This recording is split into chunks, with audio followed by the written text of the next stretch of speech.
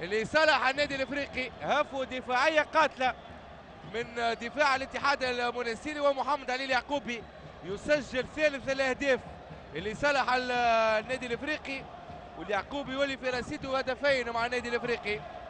هاي الإعادة. خروج خاطئ من عبد الرحمن بعبورة. وثلاثة بواحد. الإفريقي يتقدم على الاتحاد المنستيري كما شكرنا بعبورة طبعا وحييناه بعد تصديه. لضربة الجزاء. خروجه كان خاطئ في الحقيقة في التوزيعة الأخيرة من زويرة للذوادي